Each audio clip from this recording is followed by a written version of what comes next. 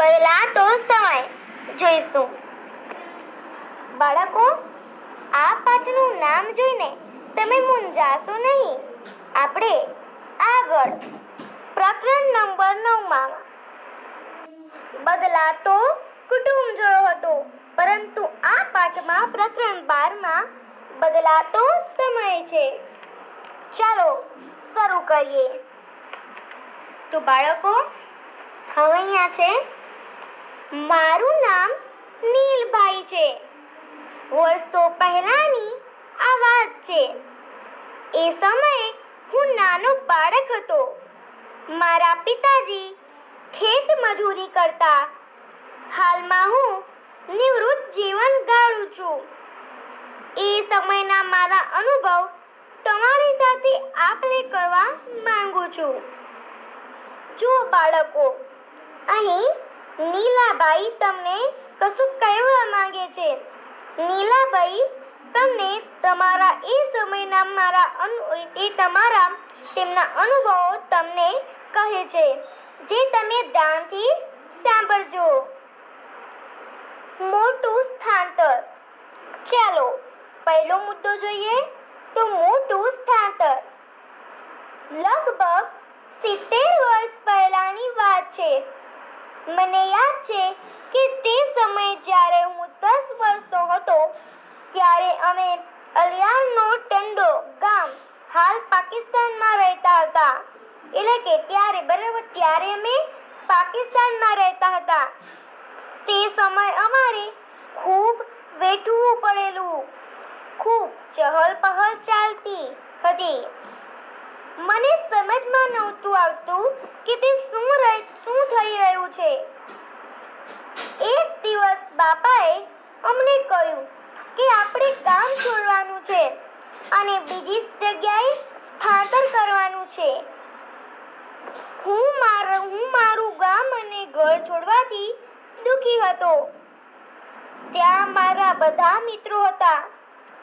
અમે બધા ઘરના સભ્યો બળદગાડા લઈને ભાગ્યા. તે પણ સરહદ પર પડાવી લીધા. છેલ્લે ચાલતા અમે કચ્છના ધોળાવીરા નજીક આવ્યા. અમારી જેમ ઘણા લોકોએ અમારા વિસ્તારમાંથી સ્થાંતર કર્યું હતું. લોકો કહેતા હતા કે આપણો દેશ બે ભાગ, ભારત અને પાકિસ્તાનમાં વિભાજિત થઈ ગયો હતો. ભારતમાંથી ઘણા લોકો પાકિસ્તાન ગયા હતા, જેમ અમે ભારતમાં આવ્યા હતા. થોડો સમય અમે બધા એક કૂપો બનાવીને ધોળાવીરાના ખુલ્લા મેદાનમાં રહ્યા હતા. બાળકો, હવે તમે એક સરસ મજાની ઘટના વિશે, બાળકો, હવે તમે એક ઘટના વિશે જાણી ગયા છો. ખબર પડી ને? આ ઘટના છે કે સૌ પ્રથમ પાકિસ્તાન અને પાકિસ્તાન ને ભારત બંને અલગ થઈ રહ્યા છે. તે બંનેના ભાગ પડ્યા, બરાબર? અને આજે આપણે, આ વર્ષમાં આપણે આજે આજે આપણે ભારતમાં રહીએ છીએ. હવે છે અહીંયા. તો એક નવું ઘર. એક દિવસ બાપાએ કહ્યું કે હવે ખરચરિયા એટલે કે જયરામનગર ગામમાં થોડી જગ્યા મળી છે. તેમણે કહ્યું કે આપણે ત્યાં આપણું ઘર બનાવીશું. તેથી હું ખૂબ જ ખુશ હતો. બાપા અને માએ ઘર બનાવવા સખત મહેનત કરી હતી. અમે બાળકોએ પણ મદદ કરી હતી. માએ માટી ખોદી અને અમે તગારામાં ભરી ને માને આપ્યા હતા. બહેન અને માએ તેમાં ભૂસું ભેળવ્યું. બાપાએ દિવાલો બનાવી. અમે આજુબાજુથી ગાયનું છાણ ભેગું કરી લાવ્યા.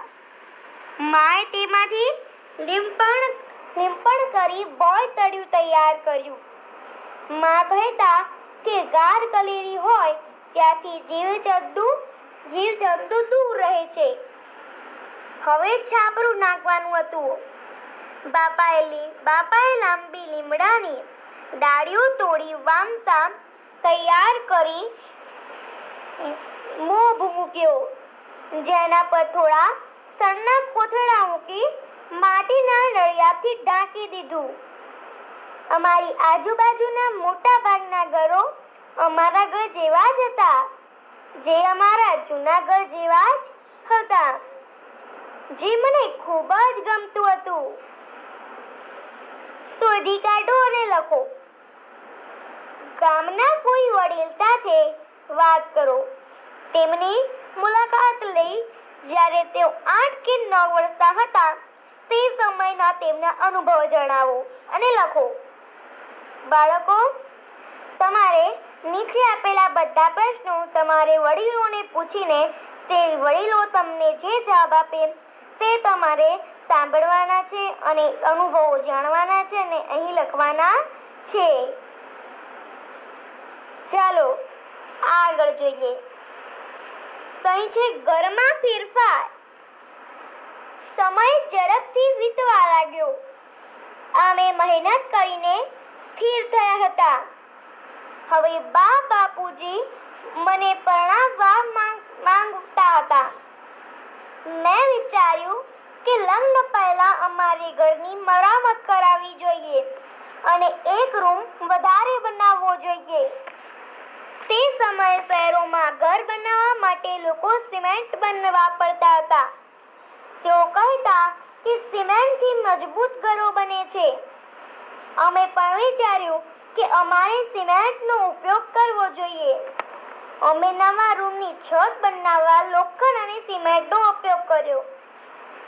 તે સમયે બજારમાં પકાવ્યા વગરની ઈંટો પણ મળતી હતી.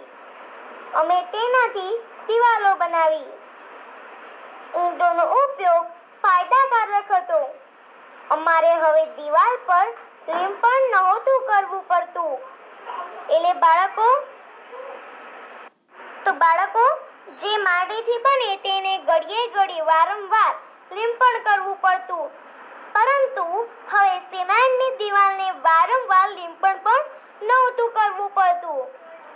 વર્ષમાં એક વાર અમે ને ચૂને, ચૂનો લગાવતા અમે આંગણામાં નાનું રસોડું પણ બનાવી દીધું. રસોડામાં માટીનો ચૂલો અને વાસણો વાસણો મૂકવાની જગ્યા હતી. પછી મારા લગ્ન થયા અને મારી પત્ની અમે નવા ઘર મારી પત્ની અમારા નવા ઘરમાં આવી. રસોઈ બનાવવાની રસ, પછી રસોઈ બનાવવા તે રસોડામાં નીચે બેસતી. અમે બધા રસોડામાં ચટાઈ પર એક સાથે જમવા બેસતા. તે ખૂબ ખુશીનો સમય હતો. તે દિવસોમાં કેટલાક લોકો શૌચ કરવા, ખુલ્લા કેટલા કેટલાક લોકો શૌચ કરવા ખુલ્લા ખેતરોમાં જતા હતા. ઘણા ખરા મકાનોમાં તેના માટે અલગ જગ્યા હતી. અમે ઘરની પાછળ બેડાથી નાનું શૌચાલય બનાવ્યું હતું. વધુ બદલાવ. મારા સાત દીકરા અને એક દીકરીનો જન્મ તે ઘરમાં થયો હતો. સમય વીતતો ગયો. બાળકો થોડું ઘણું ભણ્યા. વીસ વર્ષ પહેલા અમારી દીકરી જમીના લગ્ન લગ્ન થયા અને તે સાસરે રાફુ ગામે ચાલી ગઈ. જ્યારે મારા દીકરા લાકાના લગ્ન થયા, અમને લાગ્યું કે નવી વહુ માટે અમારે ઘર તૈયાર કરી દેવું જોઈએ. ત્યારે લોકો પાકી ઈંટો વાપરતા હતા. અમે પણ દિવાલ બનાવવા તેનો જ ઉપયોગ કર્યો અને છત માટે વાંસા, નળિયાના બદલે મેં મજબૂતી લાવવા માટે લોખંડ, કપચી અને સિમેન્ટનો ઉપયોગ કર્યો. શૌચાલય, શૌચાલયમાં કચરાના નિકાલ માટે પાઇપ મૂકી. રસોડું મોટું બનાવ્યું. લાખાની પત્ની માટે માટીનો ચૂલો ખૂબ જ ઓછા પ્રમાણમાં વાપરે છે, કારણ કે તે ગેસ સ્ટવ પર રસોઈ બનાવે છે. બાળકો, આજના સમયમાં હવે બધા લોકો માટીના ચૂલાનો માટીના ચૂલાનો માટીના ચૂલાનો ઉપયોગ ખૂબ જ ઓછો કરે છે. જ્યારે મોટાભાગના લોકો ગેસ સ્ટવ પર રસોઈ કરે છે. હવે છે નવી વસ્તુ જોઈ. જો બાળકો, હવે નવી વસ્તુઓ જોઈ. તો મારા દીકરાનો મારા દીકરાનો દીકરો હમણાં જુદો રહેવા લાગ્યો છે. તેણે હવે નવું ઘર બનાવ્યું. તેને નાની મોટી ખરીદી કરવા શહેર જવાનું થાય છે. ત્યાં તો મોટી મોટી ઇમારતો હોય છે. તેમાં જુદી જુદી સુવિધાઓ ઘણી જોવા મળે. તે નવી પેઢીનો દીકરો છે. તેણે હવે શૌચાલય, રસોડું વગેરે સુવિધાવાળું ઘર બનાવ્યું, જે બનાવવું અમારા માટે અઘરું હતું. બાળકો, હાલના સમયમાં આ હાલના સમયમાં અત્યારે મોટા મોટા શહેરમાં મોટી મોટી ઇમારતો પણ જોવા મળે છે. હવે છે. થોડા વર્ષો પહેલા લાખાએ શૌચાલય અને બાથરૂમ ફરીથી બનાવડ્યું, ફરીથી બનાવડાવ્યું તેણે બાથરૂમમાં તેણે બાથરૂમમાં તેણે બાથરૂમમાં રંગીન ટાઇલ્સનો ઉપયોગ કર્યો. વિચારો. નાહવા માટેની જગ્યામાં આટલો બધો ખર્ચ? હું હવે એસી વર્ષનો થયો. આ બધા વર્ષોમાં મેં ઘણા ફેરફારો જોયા. મારા પોતાના ઘરમાં પણ મને ખબર નથી કે મારા પૌત્ર પૌત્રીઓ ક્યાં રહેવાનું પસંદ કરશે અને તેમના અને તેમના ઘર કેવા હશે? અત્યારે અલિયાળનો ટંડો ગામમાં મકાનો કેવા હશે? મને એમ પણ થાય છે કે મારા બીજા મિત્રો ક્યાં હશે હવે છે, અત્યારે તો પહેલો પ્રશ્ન છે આપણો કે અત્યારે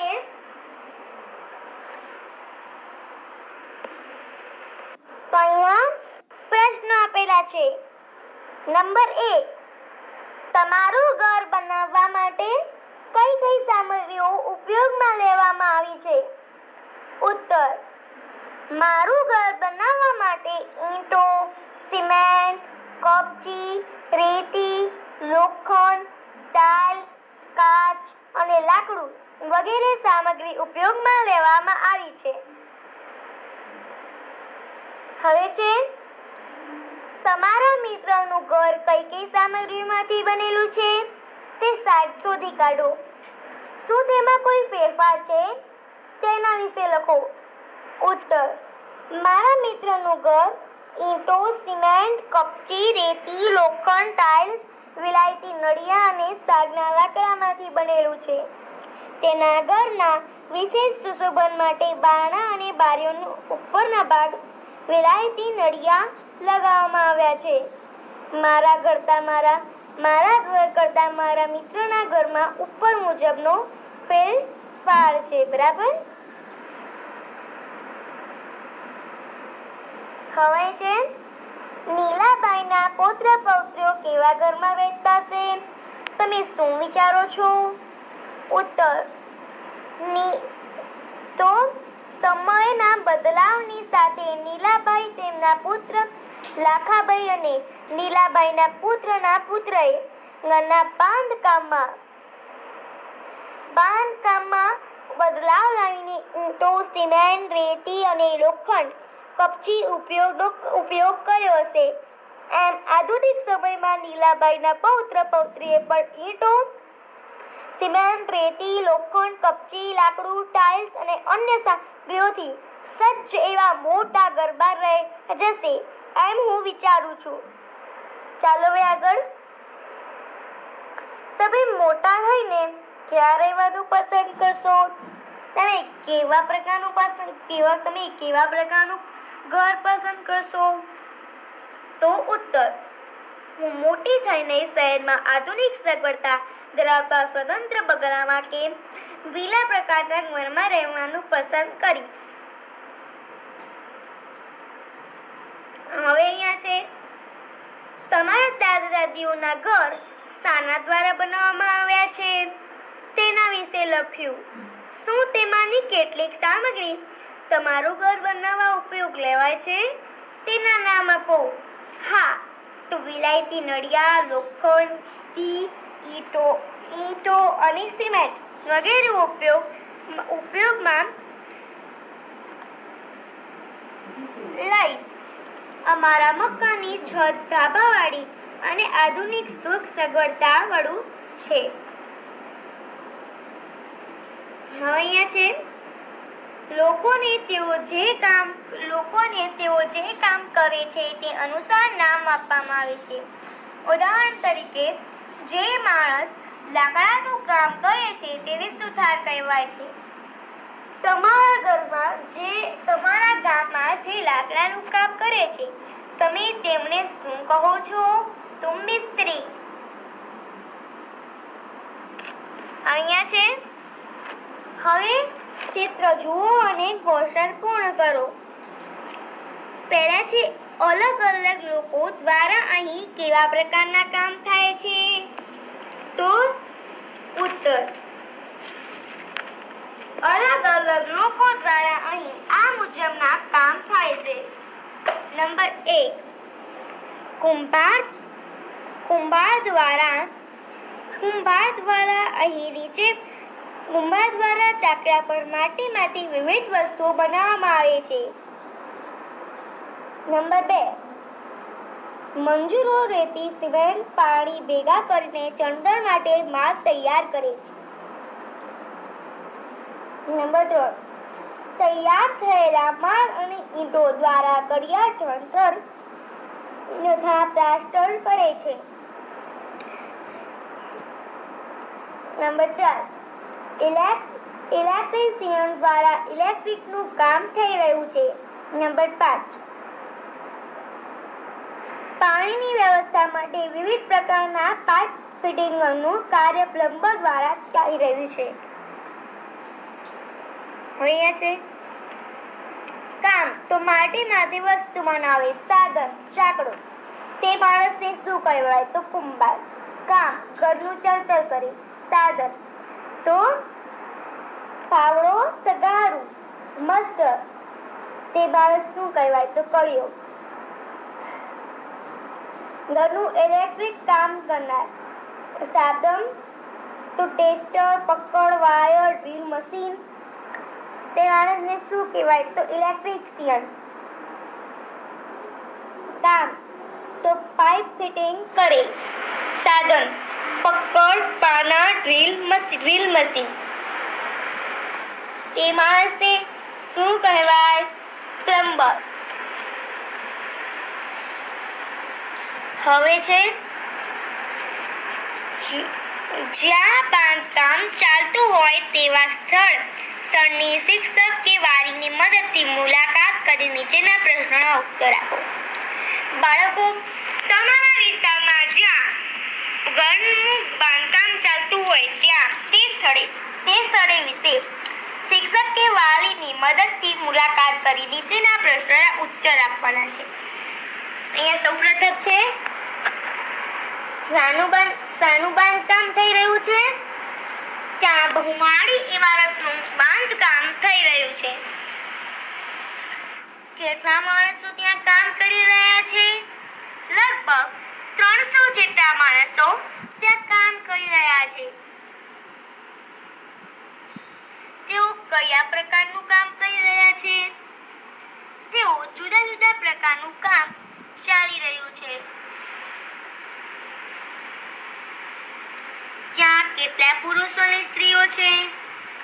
ત્યાં લગભગ બસો વીસ પુરુષો અને એસી સ્ત્રીઓ છે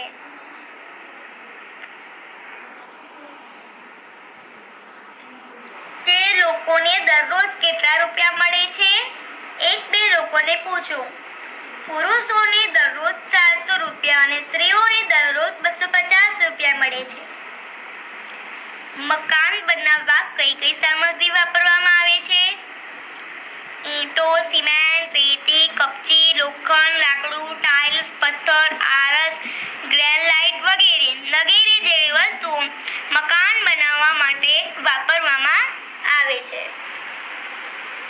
મકાન બનાવવા કેટલી ટ્રક ઈંટો અને કેટલી થેલીઓ સિમેન્ટ વાપરવામાં આવી હશે તે અનુમાન કરવા પ્રયત્ન કરો.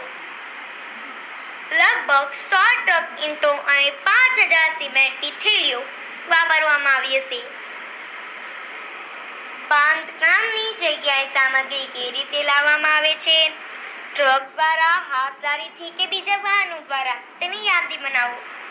બાંધકામની જગ્યાએ ટ્રક ટ્રેક્ટર ટ્રોલી પછી હાથગાડી હાથલારી મ, મિની ટ્રક વગેરે વાહનો દ્વારા સામગ્રી લાવવામાં આવે છે. અહીંયા છે કિંમત શોધી કાઢો. સિમેન્ટની એક થેલી તો ચારસો પચાસ રૂપિયા. એક ઇંટ તો પાંચ રૂપિયા. રેતીની એક ટ્રક કાં તો ટ્રેક્ટર તો પાંચ હજાર રૂપિયા. હવે છે એસી એસી વર્ષ સુધીમાં નીલભાઈના ઘરમાં જુદા જુદા સમયે જુદી જુદી જુદી જુદી સામગ્રીઓનો ઉપયોગ લેવાઈ હતી. તેની સહીની સાચા ક્રમમાં યાદી બનાવો. સૌપ્રથમ તો સૌપ્રથમ અહીં